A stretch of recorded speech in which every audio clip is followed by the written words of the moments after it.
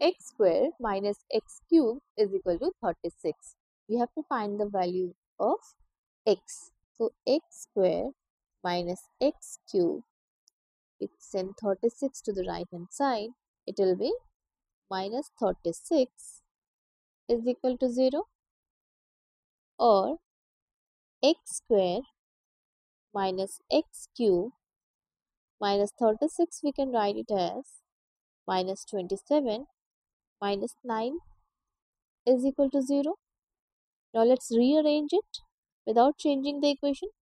We can write x square minus 9 minus x cube minus 27 is equal to 0 or we can write it as x square minus 3 square minus 3 square then minus and then parenthesis x cube plus minus plus will be minus 27 as 3 cube is equal to 0. Now this is in the form of a square minus b square differences of square. So we can write it as a plus b times a minus b. So we can write it as x plus 3 times x minus 3. Again this x cube plus 3 cube this is in the form of a cube plus b cube. Again this is an algebraic expression you can write it as a plus b times a square minus ab plus b square. So we can write it as minus x plus 3 then times x square minus 3x plus 3 square is equal to 0. Now this x plus 3 and x plus 3 is common so we can write x plus 3 as a factor then x minus 3 minus this x square minus 3x plus 3 square is 9 is equal to 0 or x plus 3 then bracket x minus 3 minus x square plus 3x minus 9 is equal to 0 or x plus 3 then x plus 3x is 4x we can write here minus x square plus 4x minus 12 is equal to 0 now we have two factors here. When x plus 3 is equal to 0 then x is equal to minus 3 so this is one value of x. Let's write it x1 is minus 3 when minus x square plus 4x minus 12 is equal to 0. Let's multiply both the sides by minus 1. So it will be minus minus plus x square minus 4x plus 12 is equal to 0.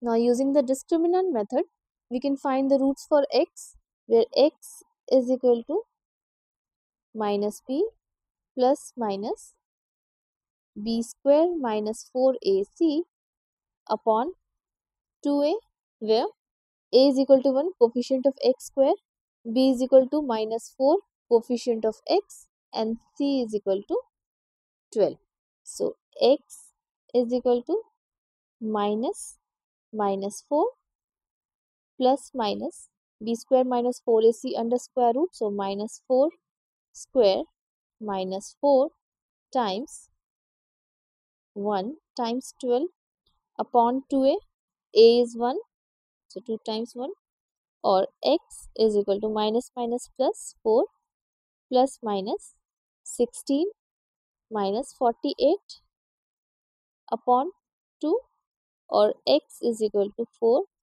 plus minus 16 minus 48 x minus 32 upon 2 whenever there is minus inside the square root we can write it as 32 times minus 1 under square root.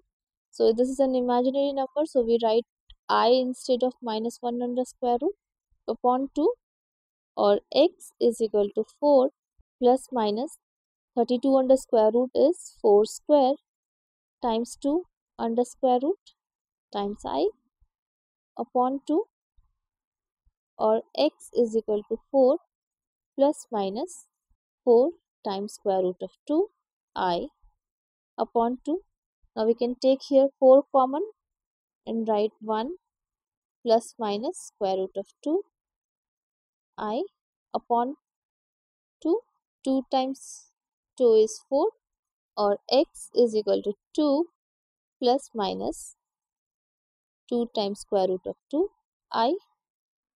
So second value of x is 2 plus 2 times square root of 2 i and third value for x is 2 minus 2 times square root of 2 i.